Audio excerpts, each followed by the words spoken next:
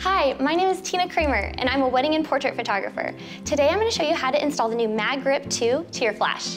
The MagGrip 2 is the newest version of the patented magnetic universal design, which allows you to instantly attach MagMod accessories to your flash, including new round head flashes. This is the top of the MagGrip 2 with the lightning bolts facing up. If you see the slots, it's upside down, so turn it around. Step 1. Put the MagGrip 2 in your dominant hand and the flash in your other. Step 2. With the lightning bolts facing up, place the MagGrip 2 over your flash where your middle finger and index finger are resting. Use those bad boys to hold in place. With your dominant hand, use your thumb as leverage on the side of the flash and use your fingers to quickly stretch it onto the head. The faster the better, just like this. Yes, it's gonna be a little difficult the first time you try it, but trust me, you can do it.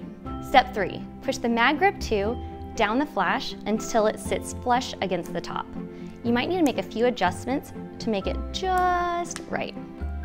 Now you can attach any of the modifiers to your flash in lightning fast ninja speed. High five! Because the MagGrip 2 is so strong, it will never accidentally fall off. But if you want to take it off, just simply slide it off one end and put it in your handy dandy fanny pack. I mean, camera bag. We recommend leaving your MagGrip 2 on your flashes when not in use. It retains 99% of its elasticity even after long repeated use. It won't degrade or lose stretchiness over time. Now that I showed you a regular flash, I'm going to show you how to do the same technique on a few different flashes. This is a Godox round head flash. I'm going to show you how to use the same technique to put it on this one. So you're gonna put it over the edge using your index finger and middle finger on the side and use your thumb as leverage and then slowly stretch it over one side and then the other. And then make sure to push it down so that it's flush with the top of the flash head.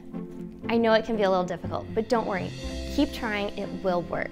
Once it's on, you don't have to take it off again, and then you're ready for your modifiers. It also works with the popular AD200, and it's the same technique and it works just as easy on this one. And just in case you're curious, it also works with smaller flashes, such as the Nissin or the Canon 420EX. Thanks for watching.